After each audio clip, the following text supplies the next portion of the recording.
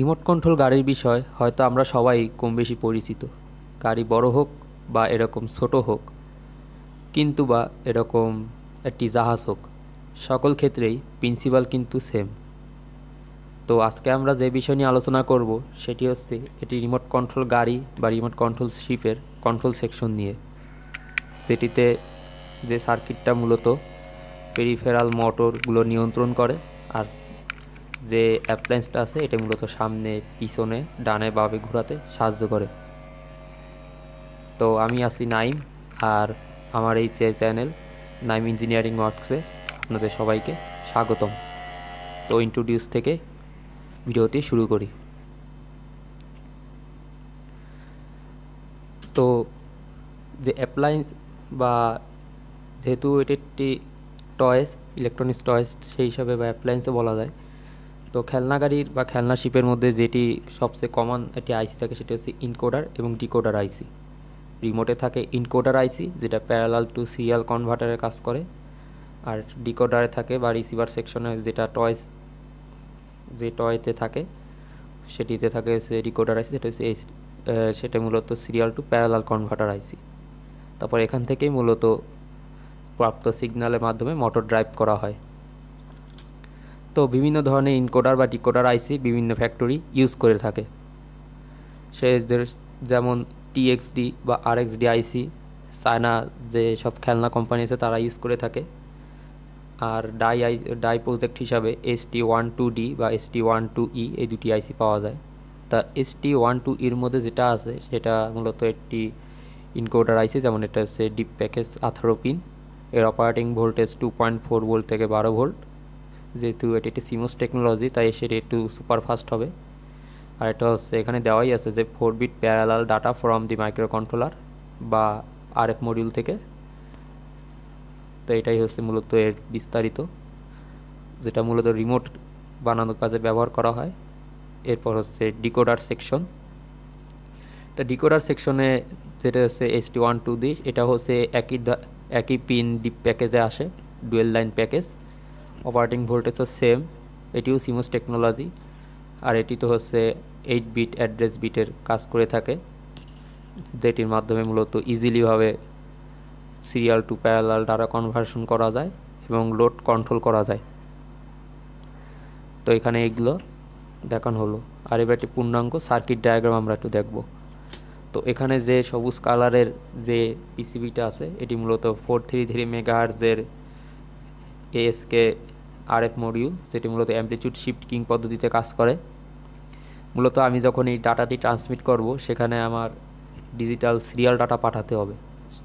আর digital serial serial data পাঠানোর সবচেয়ে সহজ পদ্ধতি হলো এএসকে বা অ্যাম্পলিটিউড শিফট কিং যেহেতু এটি বাচ্চাদের খেলনা টয় হিসাবে বিবেচিত হয়, সেহেতু বেশি লং রেঞ্জের দরকার হয় না, তাই এএসকের মাধ্যমেই ডাটা পাঠানো খুবই সহজ।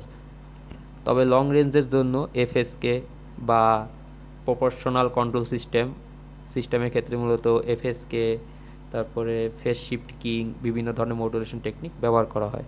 যেহেতু আমার এটা হচ্ছে ডাইরেক্ট কন্ট্রোল সিস্টেম অর্থাৎ আমি একটা সুইচ চাপ দিলে একটি অবস্থায় পরিবর্তন হয়, সেজন্য এখানে যে কনসেপ্টটা সেটা খুবই খুবই বেসিক সার্কিট ডায়াগ্রাম অনুযায়ী এ জিরো থেকে এ সেভেন পর্যন্ত যেটি হচ্ছে অ্যাড্রেস বিট অর্থাৎ অ্যাড্রেস বিটের আট বিট হিসাব করা থাকে।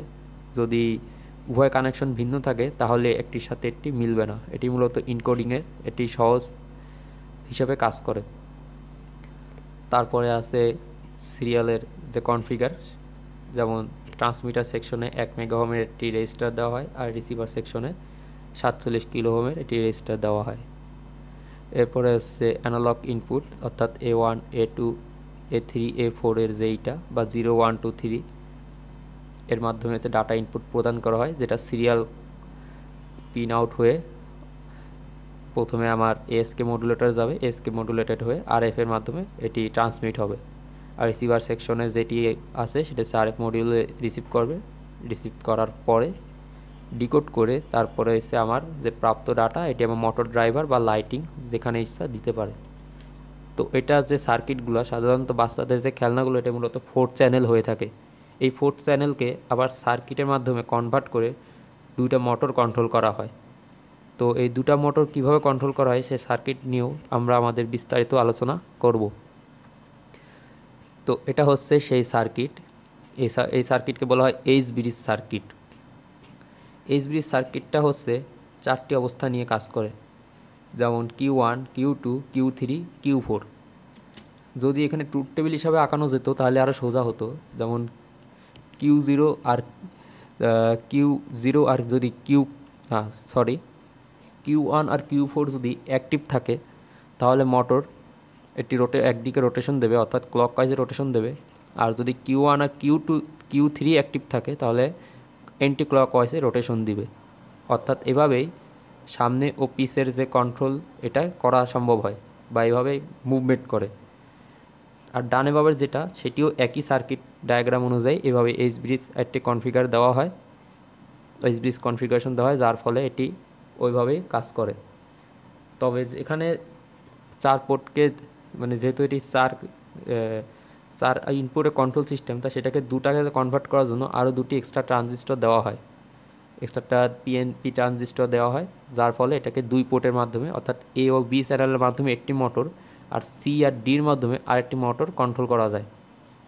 এভাবে দুটি মোটর মাধ্যমে গাড়ি বা জাহাজের যে ডিজাইন এটি সহজে করা যায় এবং পূর্ণাঙ্গ কন্ট্রোল সিস্টেম প্রস্তুত করা হয়। তো এখানে যে চারটি ডায়োড আছে, এই চারটি ডায়োড আছে এক্সট্রা প্রোটেকশনের জন্য। যদি মোটর নয় ভোল্টের বেশি বড় হয় বা নয় ভোল্টের একাধিক বা বারো ভোল্ট চব্বিশ ভোল্টের মোটরের অ্যাপ্লায়েন্স হলে, তখন এই এই ডায়েটগুলো, অর্থাৎ এই ফ্লাই হুইল ডায়েটগুলো রিভার্স বায়াস প্রোটেকশনে ট্রানজিস্টরকে অক্ষত রাখে। আর যদি ছোটোখাটো অ্যাপ্লায়েন্স হয়, যেহেতু ফাইভ ভোল্ট থ্রি ভোল্টের ছোটো খেলনা হলে, তখন এগুলোতে এরকম ফ্লাই হুইল ডায়োটের দরকার হয় না। তবে ফ্লাই হুইল ডায়োট দেওয়া ভালো, যেহেতু রিভার্স ভোল্টেজ প্রোটেকশনের জন্য এটি কাজে লাগে। তো এখানে এটি দেওয়া আছে, অর্থাৎ উপরে দুটা পিএনপি ট্রানজিস্টর আর নিচে দুটো এনপিএন ট্রানজিস্টর। আর সুইচিংয়ের মাধ্যমে যেহেতু মোটরের রোটেশন চেঞ্জ করা যায় চারটা ট্রানজিস্টার একসাথে অ্যাক্টিভ হলে মোটর ঘুরবেও না, আবার চারটা একসাথে অফ থাকলেও মোটর ঘুরবে না। অর্থাৎ এখানে একটা একটার অপোজ ট্রানজিস্টার অ্যাক্টিভ থাকতে হবে, তাহলে মোটরে মুভমেন্ট তৈরি হবে। তো এইসব কিছু অ্যাপ্লায়েন্সের মধ্যে এই যে খেলনা গাড়ি যে এইগুলো, এগুলো সবের যে একটি সব কিছু একটা কমন বিষয় হলে কন্ট্রোল সিস্টেম আর কমিউনিকেশন সেকশনে যে কমন সিস্টেম কমন যে মিলটা আছে সেটা হচ্ছে এগুলো সবই সাতাইশ মেগাহার্স ব্যান্ডে অর্থাৎ এগুলো মূলত অনেক আগের টেকনোলজি বর্তমানে two point four gigahertz band use করা হয় খেলনা গাড়ির জন্য বা এখন আরসি হবি সেকশন আর আলাদা একটা আছে যেখানে ফোর হুইল কার বাড়ানো যায় বা ফোর হুইলে বিভিন্ন মডিউল কিনতে পাওয়া যায় ওটি হচ্ছে আলাদা একটা ডিপার্টমেন্টই বলা যায়।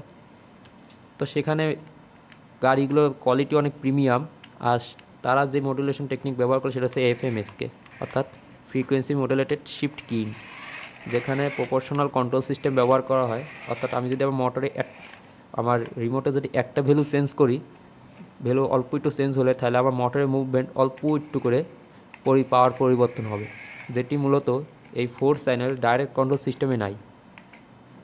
Four channel direct control system মাত্র একটা সুইচ চাপ দিলেই তখন মোটর ফুল স্পিডে ঘোরা শুরু করে।